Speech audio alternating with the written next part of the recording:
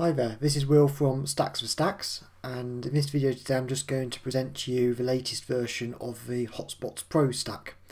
Um, Hotspots Pro, this latest version, doesn't really gain an enormous number of new features. Instead much of the emphasis of this update has been on refining the editing interface, making the stack much more flexible and much easier to set up. To get Hotspots Pro stack set up you'll want to open your stacks library and drag and drop a copy of the stack into a page like so. You've then got the option over here on the right hand side to customize how the Hotspots Pro stack looks and behaves.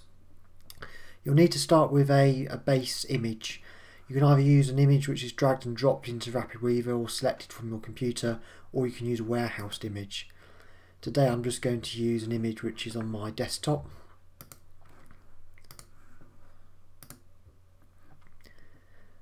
that's the base image setup. To actually create hotspots on the area of the image, you'll want to click on this blue plus button up here at the top right hand corner. We have already got one hotspot area highlighted here which is loaded by default and you can see that in the new editing interface we can very easily change the position of the hotspot area um, both horizontally and vertically and we can change its width and change its height very easily too.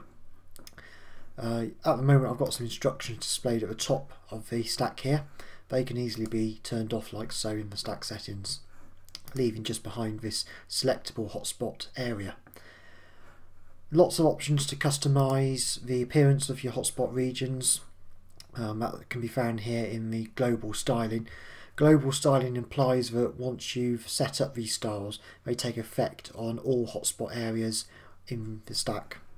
However, it is possible to select a hotspot area and down here in the hotspot custom styling you can actually override things like the background, uh, the borders and you can apply custom content.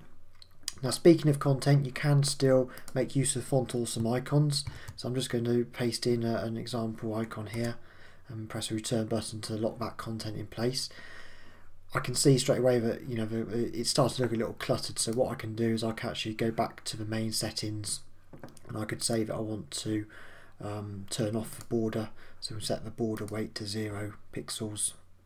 And I can also if I wanted to just turn off this uh, background altogether. So again I can say we want it to uh, zero percent opacity uh, when it's normal and we could say 0% opacity when it's hovered and that way you can just see you just have a simple map pin area um, on, on your hotspot stack.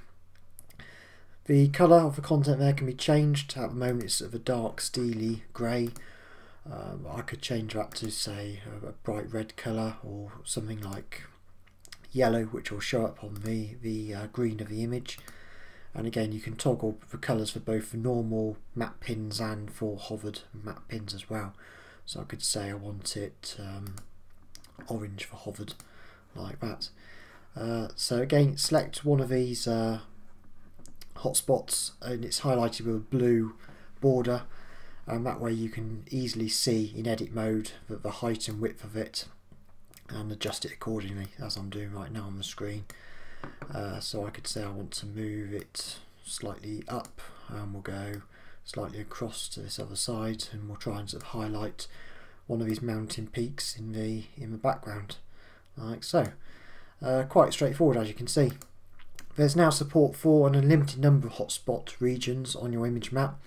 To add new hotspot regions you just keep on clicking this blue plus button at the top right hand corner and again I've got a new area now so I can go ahead and put in my custom icon. I can uh, resize the, the area.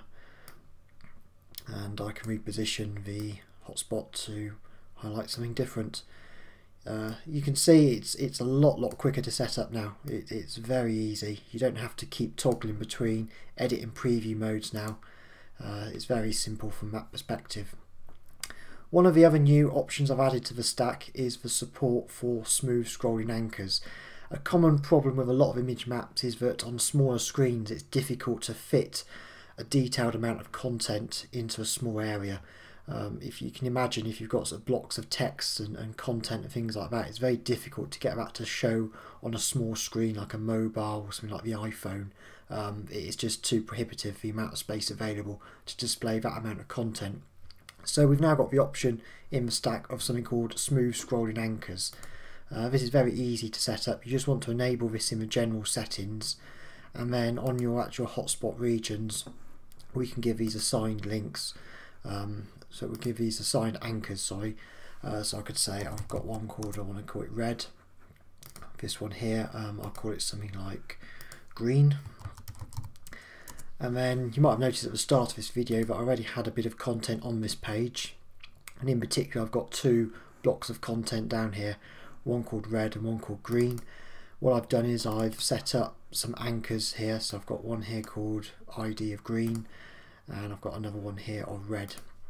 And uh, when I preview the page and we see the, uh, the hotspot map, there's our hotspot areas there and if I click on these you'll see I'm actually scrolled down to below the hotspot section of the page and I can view more content in, in greater detail. Existing settings which were available in previous versions of Hotspots Pro are still available. In particular we've got things like lightbox support, support for toggles, tooltips, um, all that is still there. The style options are all here, still here. In some instances I've actually added a few more style options particularly towards being able to differentiate between normal states and hovered states. You've got a bit more control over that. It still the stack still does much the same as what it did before, but you can see I've just refined the editing interface, made it a lot easier and faster for you to set up your hotspot stacks. Um, it's a very nice solid update and uh, I look forward to hearing any feedback you've got about this stack. Certainly if you've got any questions then please let me know and you can contact me through the Stacks for Stacks website um, or through social media, anything like that. And I look forward to hearing from you again soon.